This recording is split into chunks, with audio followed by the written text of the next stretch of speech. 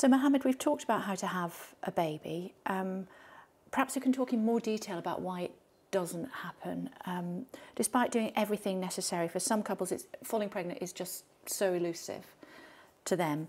Uh, what are the main reasons um, why it doesn't happen, and what do you do to help?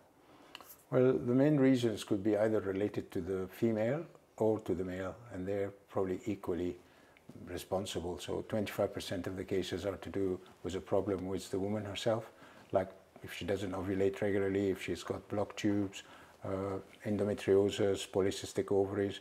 There are a variety of, of problems that can sometimes affect the chances of the woman being able to, to conceive without help and without assistance. Another 25% will be to do with the husband, so if or the partner. If he's not producing enough sperm or if the quality of the sperm is not very good, fertilization is not going to happen because you need uh, certain criteria in the sperm to allow the sperm to fertilize the egg and create an embryo. Uh, and this is something that can be helped uh, with IVF or not exactly IVF, it's a variant of IVF called ICSI, where you have to select sperm and inject them into the eggs.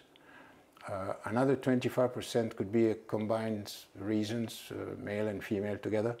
And the most elusive reason for, for difficulty in conceiving is what we call unexplained infertility.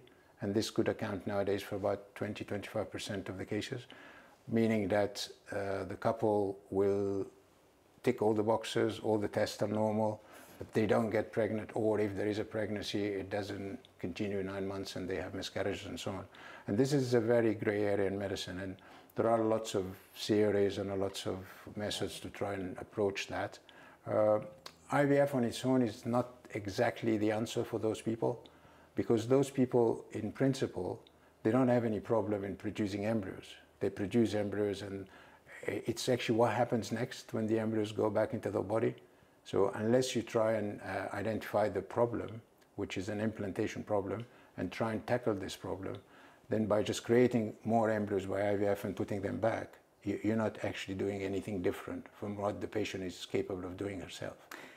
How do you start to recognize that 25%? Presumably, you have to rule out the other 75% exactly. to start exactly. with. Exactly. So it's a long process. It's a long process, and that's why it's very important to have a, a clear diagnosis from the outset because you can focus and, and, and use the right path for the patient. And, and also you need to be realistic and, and you need to explain to the patient what is possible and what is not possible because despite all the tests and despite all the treatment, there is still a high percentage of patients who do not achieve success. Uh, and obviously the success is also dependent on other factors. It's not just the reason or the cause. Age is a very important factor because the chances of success is much higher for people who are, say, let's say, below 35. And as they grow older, the chances decline. And if they hit 40, there is a nosedive for the success rate. So it is important for people to understand that. And I think nowadays we see also a big increase in people coming to, to try and freeze eggs and stuff like that because they recognize the age factor and they would like to keep something in storage which is going to be like a fallback situation if if they cannot really get into a relationship uh, before they are late 30s or 40s or something like that. So the 25%, um, the, the, the, final 25% that you were talking about there, they are a group that potentially will, will never fall pregnant? No, they will, because as long as you uh, understand that the problem is, is, is, is not actually egg quality or stimulation or sperm or whatever, it's actually what happens next when you create an embryo. And this embryo can be created by trying naturally, if the woman is ovulating and she's trying at the right time of her period, she will have an embryo in her body that will go back into the uterus naturally, but it's not going to implant. So we need to understand that the primary problem for most of those patients, particularly the young ones, is actually what happened to an embryo and why the embryo does implant or does not implant. And nobody has been able to know exactly what the mechanism is. There are a lot of theories, there are a lot of approach for that. I mean, we've been looking into this ourselves for, I'd say, since 2002, and we have tried to maybe add a lot of different treatments to maximize the chances of implantation. And we've been successful to, to a large degree, but there are still a percentage of patients that despite all your, your efforts, I mean, they don't fall pregnant. But the, the only reason for people not getting pregnant is either the embryo is abnormal or the body is not receptive to the embryo. There is no third reason.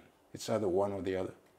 You can assess the quality of the embryo by doing the treatment, see exactly how the embryo is going to develop in the lab. So you've got a fair idea about that. What happens in the body is, is not really as clear. And, and this is where the confusion arises, and this is where people try different methods of, of treatment.